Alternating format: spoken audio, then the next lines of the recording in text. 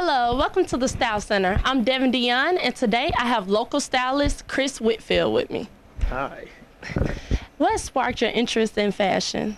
Well, I learned early on that I loved fashion when I would look for certain things and I couldn't find it. So I would recreate looks or design certain things with friends and they would kind of make clothes for me. And I usually used to do it with like my mom, family members, and it just kind of grew rapidly from there. So, uh, about what age would you say? I would say around the age of uh, about 18 or 19 or so. Like So, you started later in the game, but you're still yes, yes. taking care of business. Right. Right. Did you attend any school or is just by hobby? You're just a natural trendsetter? Well, thank you for calling me that, but um, no schooling in fashion. Um, I did study under some other fashionable creatives, but I mean, I have my bachelor's degree is in business, so um, that's pretty much the schooling I got. In So, that. it just runs in your blood? I guess it's just a natural gift from God. All right, I like that answer.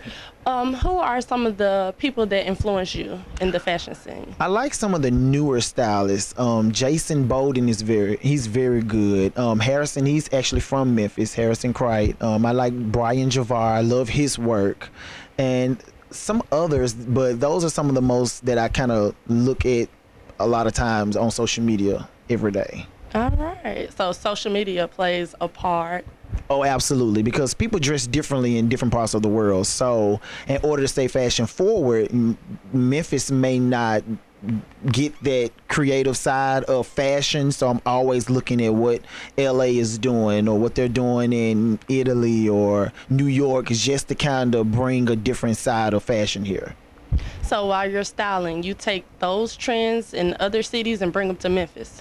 I wouldn't say I necessarily take those trends, but they are very inspirational. You know, I'm inspired by them, and I just put a little bit of my own creativity to it. Um, sometimes it just kind of comes natural. It's free flowing. You know, it's not all of what I see out there. It could be something that I've had a creative vision on and just kind of went with it. I'm glad you mentioned social media.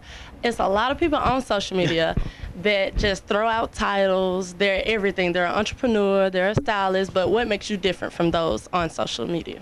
consistency. I think um, when you're walking in something that you really love, you don't do it for the hype or the fame or popularity. You know, you do it regardless. So after the hype is over, if they're not booking or calling you, you're still doing it, and it's and it's the fire is still there.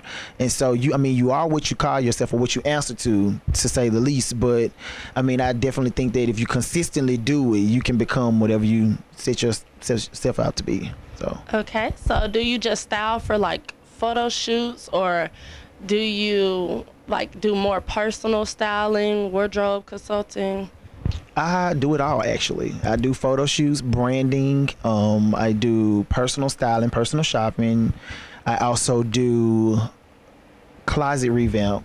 So anything that's regarding fashion, I'm the guy. I don't mind taking, you know, tackling that job. If you could sum it up in one word, what would be the title you would give yourself? Oh my god! In one word, I would have to say that.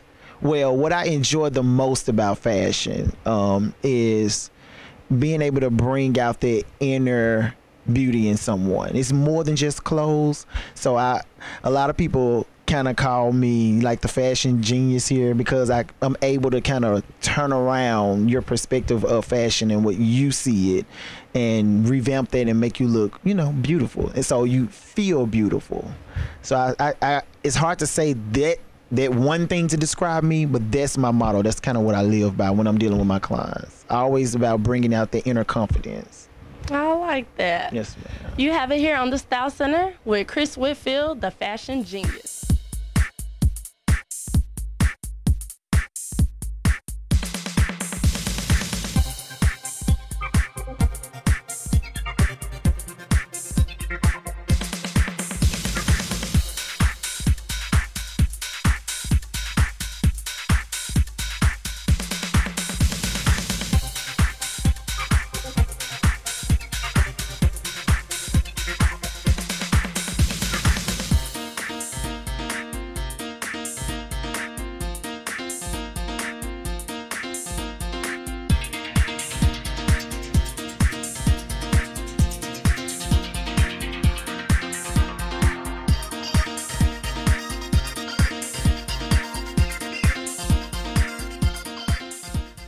I'm Devin Dion with the Style Center. I'm sitting here lonely with this empty chair, but you could be there.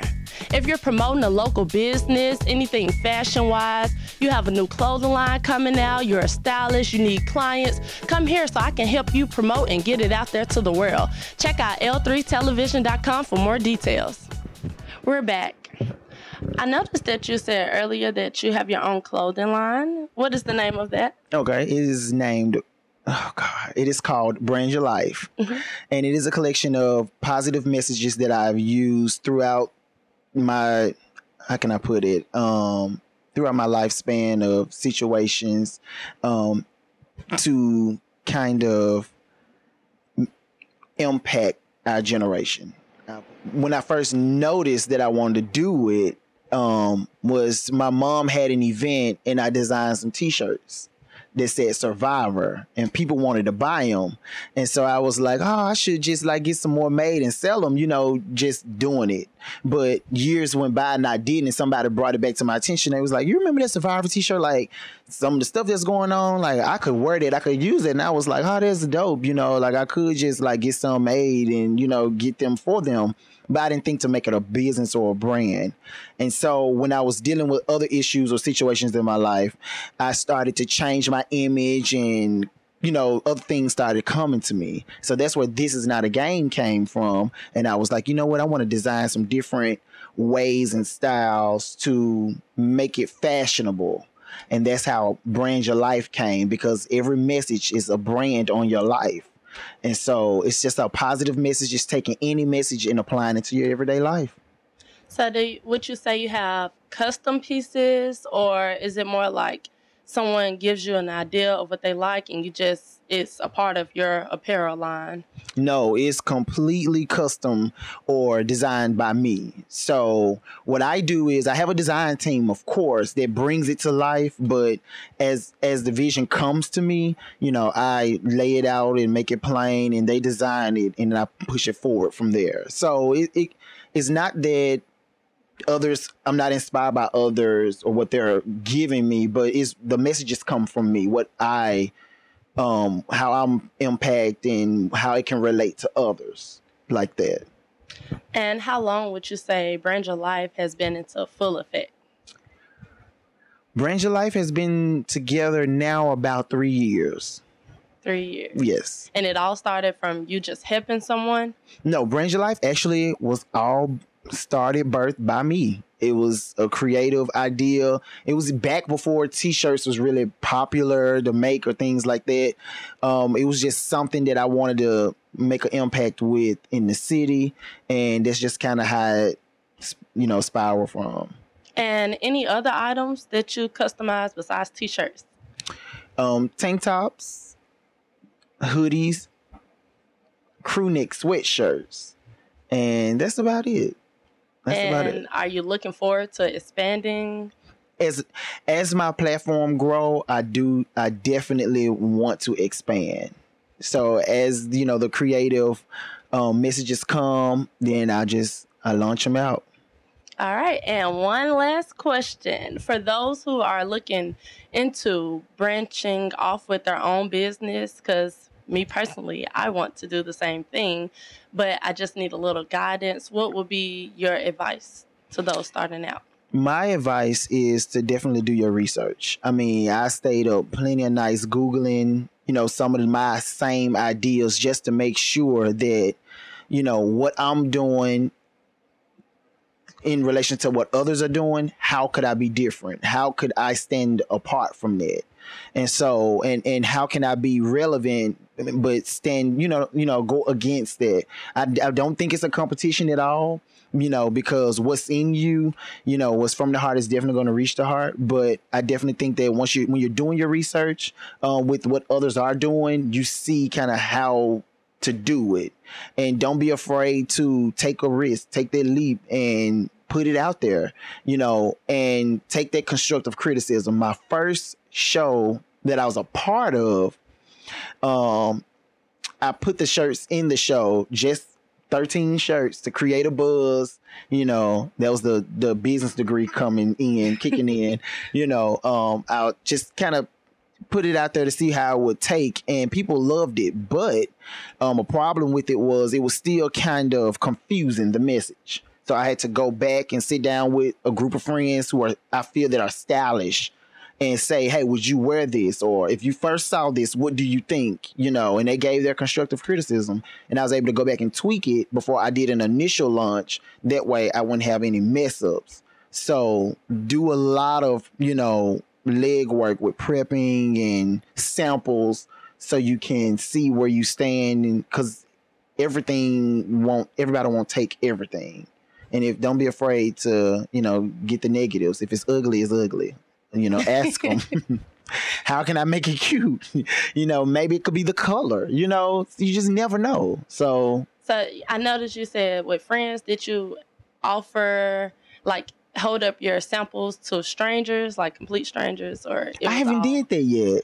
I haven't did that yet. But when I sat down with those creative people and we went over color concepts and stuff, we kind of knew then what it would look like once I put it on a shirt as a sample and models wore it.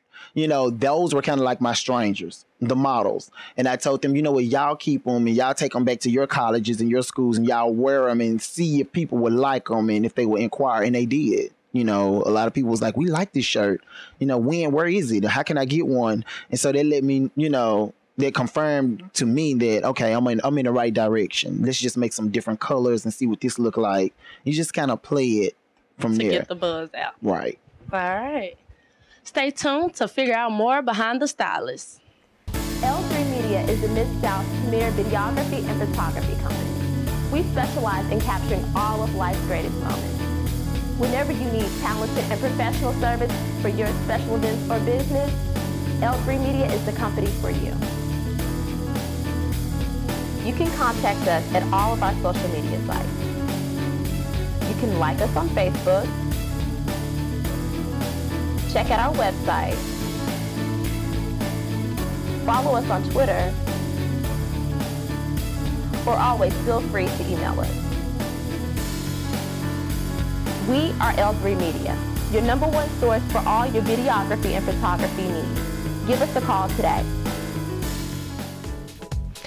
I'm Devin Dion. Be sure to check out the Style Center every Wednesday night at 10 p.m. on Comcast 31. Stay stylish. Welcome back. I'm still here with Chris Whitfield, local stylist, and we're going to get into his thought process. So, what moment did you realize that you were really official, that you really doing your dream job?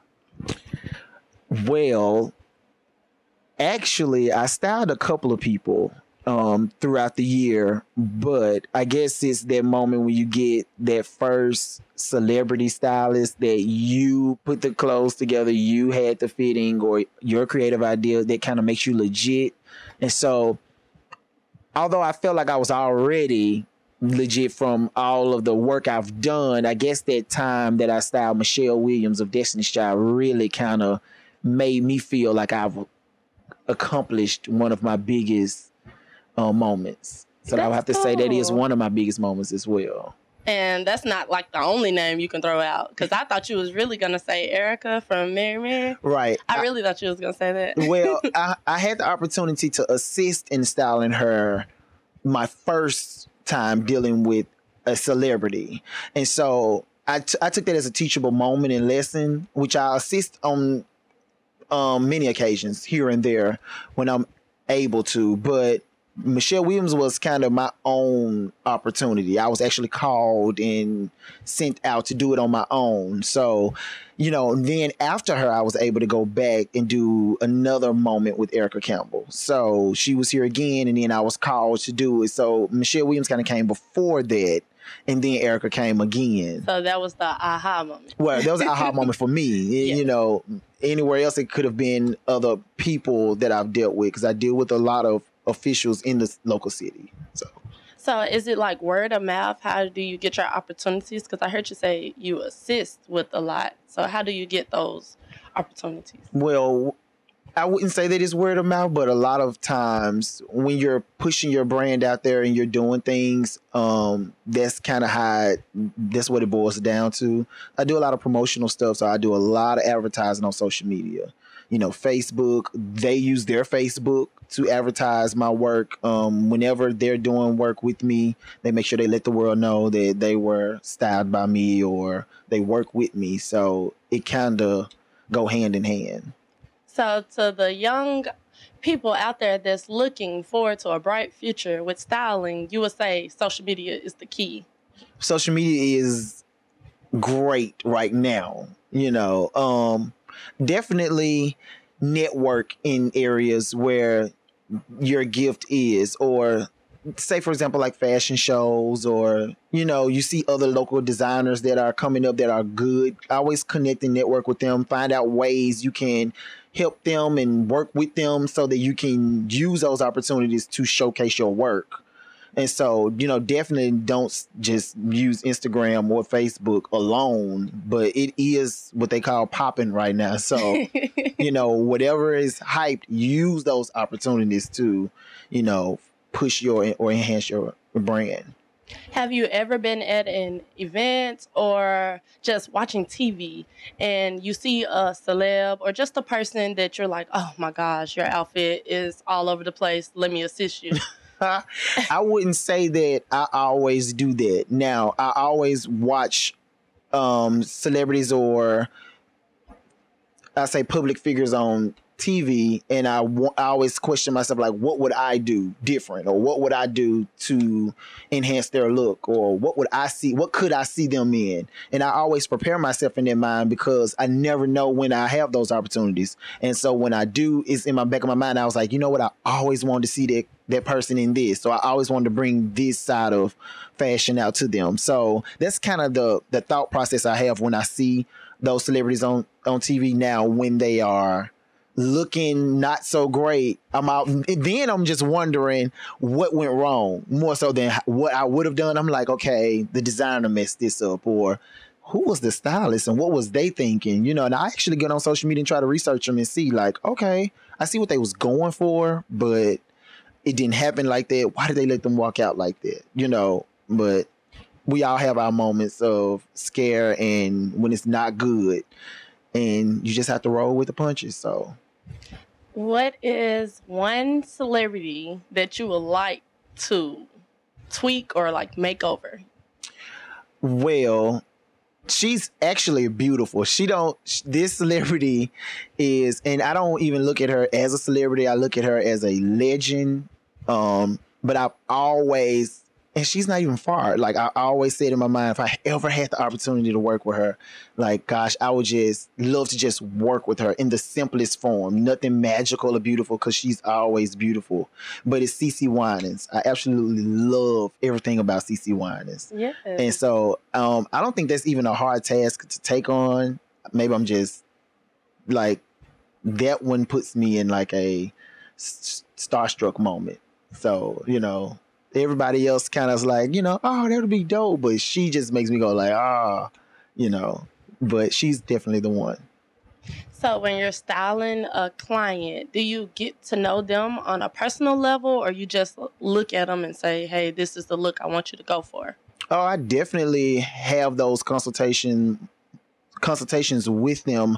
I think what's most important is getting to understand where they are mentally with with what and how they wear what they wear. A lot of times, you know, you're looking at them and you know you know how you can revamp their look, but you got to understand why they dress the way they do. Because if there's a self-esteem issue, if there's a self-conscious issue, that's to show in what you put them in. So, although they may look good in something and if they're when they're not comfortable, it's still not to you know, come out right. So it's imperative that I've feel the feel the client out and understand you know what it is that you're trying to get out of this look and how can i enhance your inner beauty so you enhance your confidence you know so that you can look your best? When put in a position to style do you style using like clothes you go shopping for or do you put the artist or your client in your clothes well, my brand is an apparel brand, so it's not always fitting. It's like t-shirts, sweatshirts, hoodies, crop tops, tank tops, and all of that stuff. So a lot of my clients are professional clients, so it could be work, it could be you know, special events, red carpets. It could be any of that. So that won't always be fitting.